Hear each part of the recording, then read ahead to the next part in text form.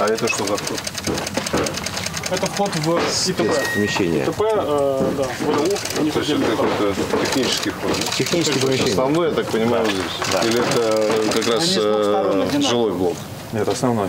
Строительство офиса врача общей практики в селе Савинская Слобода под Звенигородом закончат уже в октябре этого года. Это одноэтажное здание площадью около 340 квадратных метров. Здесь будут медицинские, процедурные, смотровые кабинеты, а также квартира для врача и его семьи площадью 66 квадратных метров. В жилом помещении предусмотрена спальня, кухня-гостиная и санузел. Возведение медицинского пункта лично контролирует глава муниципалитета Андрей Иванов. Канализацию уже вывели до границы участка У нас как такового здесь нет, там емкости. на съемкости лос. А Сергей Васильевич, какие еще проблемы?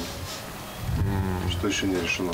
Ну вот э, представитель подрядчика говорил про дорогу, которая пройдет мимо ФАПа и на городок Звездочка. Она будет пешеходная или Пешеходная, пешеходная, пешеходная, да? Это хорошо. То есть для жителей Звездочки, которые здесь буквально там в 400 метров, это будет ну, удобно сюда ходить просто. По словам начальника теруправления Ершовской Алексея Бредова, местные жители рады новому ФАПу. Ведь если врач проживает на территории больницы, есть гарантия, что помощь может быть оказана экстренно в любое время суток. Ольга Дмитриева, Артем Ломоносов, телекомпания «Одинцова».